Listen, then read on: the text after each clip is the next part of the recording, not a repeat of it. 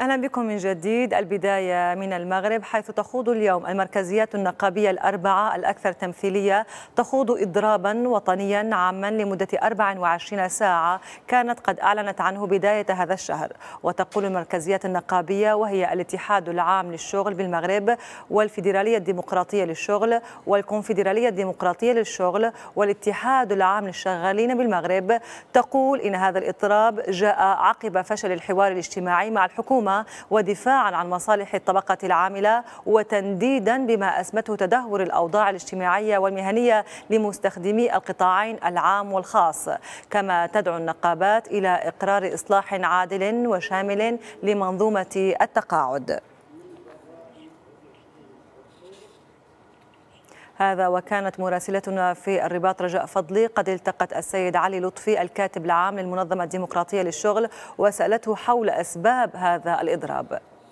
إذا بعد الإضراب الوطني العام الذي عرفه المغرب بأكتوبر 2014 أي بعد حوالي سنة ونصف اليوم نحن أمام إضراب وطني عام جديد تخوضه المركزيات النقابية بكل من القطاعين العام والخاص وسط انتقادات للسياسة التي تنتهجها الحكومة في التعامل مع الملفات المطلبية للنقابات وأيضا وسط انتقادات لهذه النقابات لتعثر الحوار الحوار الاجتماعي وعدم التوصل لأي اتفاقات. للتفصيل أكثر في الموضوع يحضر إلى جانب ضيفنا السيد علي لطفي الكاتب العام للمنظمة الديمقراطية للشغل. أهلا وسهلا بك سيد. أهلا مرحبا وشكرا على الاستضافة. إذا نحن أمام إضراب وطني عام، لماذا تتخذون الإضراب الوطني العام كشكل من أشكال الاحتجاج على الحكومة وفي الساعات الأولى من من هذا الإضراب كيف يمكن أن نقيس مدى نجاحه؟ بالفعل وكما أشرتم إلى ذلك سيدتي اليوم جل المركزيات النقابية الفاعلة في الحق الاجتماعي الوطني تخوض اضرابا عاما في كل القطاعات الوطنية والإنتاجية احتجاجا على السياسة الحكومية فيما يتعلق بتدبير مسألة الحوار الاجتماعي الذي من المفروض أنه يفضي إلى معالجة المشاكل القائمة والتي تراكمت لمدة خمس سنوات. اليوم المعركة الاحتجاجية لجل النقابات أعطت في الساعة الأولى من هذا الإضراب نتائج جد مهمة وصلت إلى أزيد من 90% في أغلب القطاعات الاجتماعية وكذلك الإنتاجية في المغرب.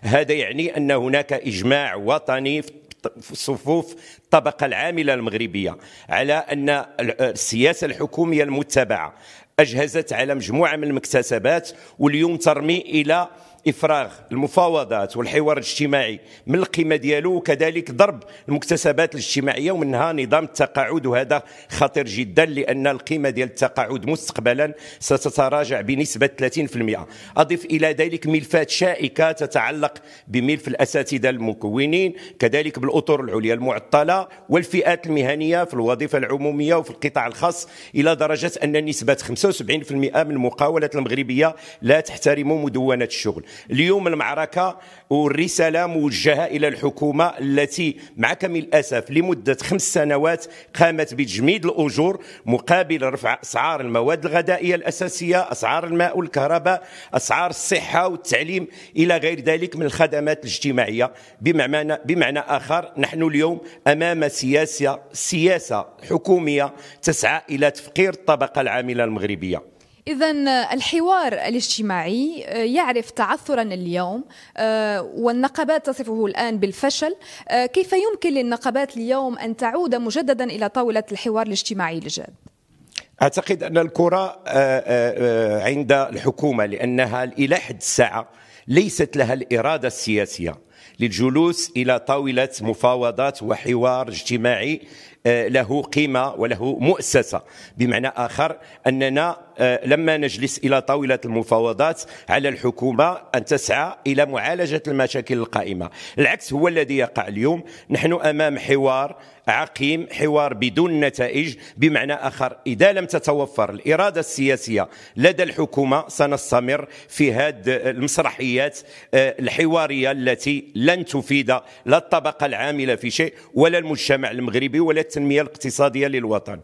إذا في سؤال آخر. رئيس الحكومة يوم أمس في أحد اللقاءات الصحفية عبر عن استغرابه عن اتخاذ النقابات لهذا الشكل الاحتجاجي وهو الإضراب العام الوطني وحصر المشكل في كونكم تحتجون على ملف التقاعد. ما هو ردكم في هذا السياق؟ ما أعتقد أن الإضراب العام الوطني في الوظيفة العمومية وفي القطاع الخاص وفي الجماعات الترابية آه، آه، مشكل منحصر في ملف التقاعد ملفات شائكة طويلة ودفتر مطلبي مطروح لدى الحكومة من طرف المركزية النقابية التي تشارك في الحوار وكذلك النقابة الوطنيه للتعليم العالي التي تشارك كذلك في هذا الإضراب العام. أعتقد أن الملف المطلبي آه، راه صدر في البيانات وفي البلاغات ديال المركزية النقابية ولا يجب حصره فقط في ملف التقاعد. أعتقد أن هذا الملف الإصلاح الجزئي ديال التقاعد هي النقطة التي أفاضت الكأس وجعلت أن المركزيه النقابية تعتقد أن الحكومة ليست لها الإرادة السياسية وتستمر في الإجهاز على مكتسبات الطبقة العاملة المغربية. إذا السيد علي لطفي الكاتب العام للمنظمة الديمقراطية للشغل أشكرك جزيل الشكر لحضورك معنا. شكرا لكم على هذا الاهتمام بالطبقة العاملة المغربية. شكرا لك. إذا أعود إليكم إلى استديوهاتنا في طنجة وسنوافيكم بآخر مستجدات هذا الإضراب الوطني العام في نشراتنا الإخبارية اللاحقة. شكرا لكم. شكرا لك رجاء فضلي ولضيفك. في